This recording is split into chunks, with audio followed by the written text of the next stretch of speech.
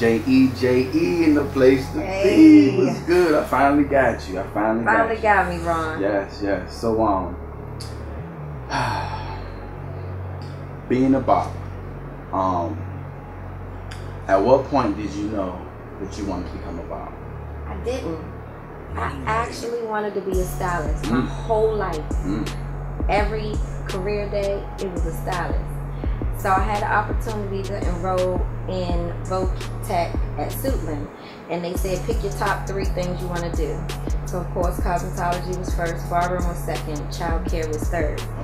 And I didn't get picked for cosmetology, and I was sad. Mm. So my mom said, hair's hair.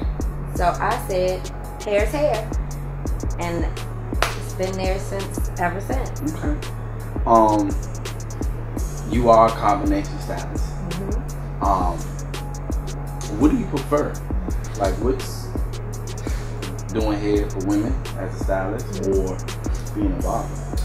I enjoy the um, variety that stylists um, have. Okay. It's a lot more creativity, although the barbering industry is stepping a lot into um, becoming a more creative field where they are just expanding. Right. Coloring is an option now. Yeah. Brown brushing is an option now. So the industry is just growing by leaps and bounds. So that's it's an exciting time to now be in the industry. Um, but if anything, I love a big shop. So I'm going Right. to say both. Yeah. Like the transformation Yeah. is great. Gotcha.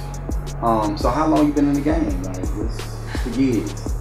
So I started doing hair around 11. Okay. Um, and then I went into a shop since I was 14. So if I add that up, let me tell my age. I don't know, about 20 years. 20 plus? Yeah. 20 plus? 20 Okay. plus. Cool. Um, so you have a special, uh, I don't even know what to call it. But you, you can tell me what it is. Um, this uh, daddy daughter, okay, or what is it, daddy daughter? A daddy daughter class, Class, um, that I offered last Okay. year. It was Okay. received pretty well. I was so shocked. I thought nobody was going to come, but a lot of times I see dads come in the shop with their daughters, and their daughter's hair is a mess because moms went somewhere or done something Mhm. or down for the count. Mhm. And so I thought about it and said, what if I helped them out? Just a basic ponytail, a basic something. Yeah, yeah. Just so the Just daughters can look as yeah. presentable as the dads Mhm. because we know how important appearance is in this industry. Exactly. It's a big deal. It so is. if you can, if the whole family can look a hundred, why not do Right, it? right. right.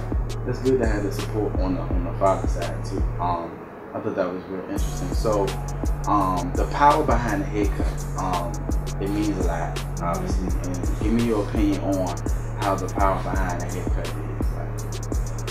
Like, There's nothing greater than feeling good about yourself. Um, over the years, that has been a struggle of mine, my own personal testimony Mm. of of a struggle of when you don't feel like you look good, you don't do your best. mhm. And so, um, a lot of times my hair held me back. I know I did a big chop when I was in my 20s. Um, I thought that's all that I had, my hair.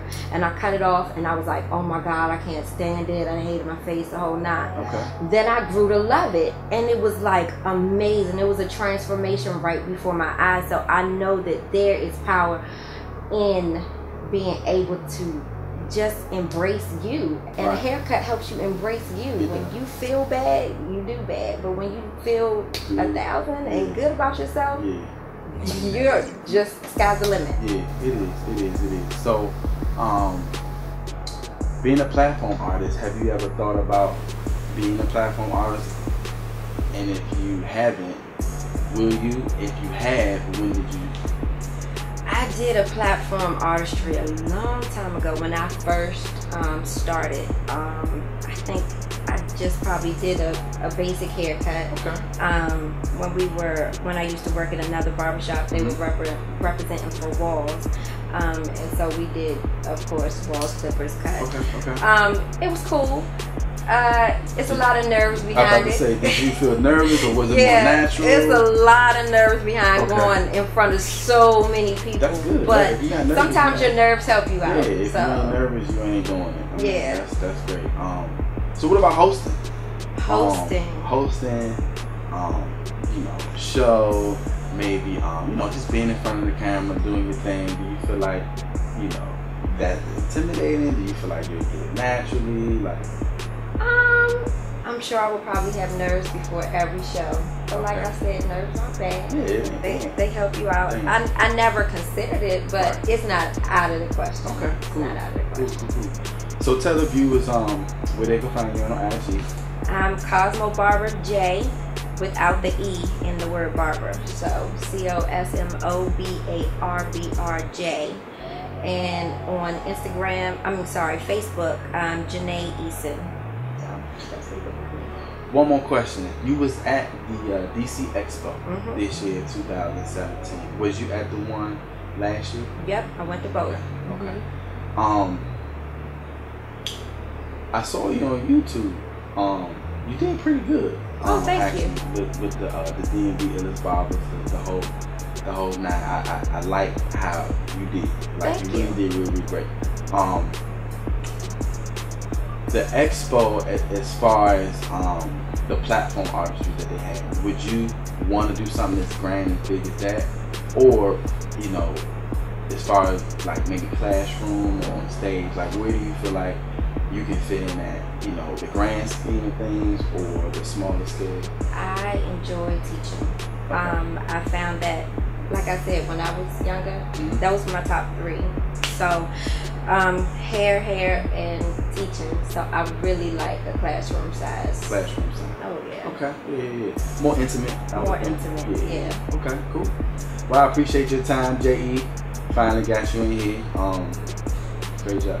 Thank you.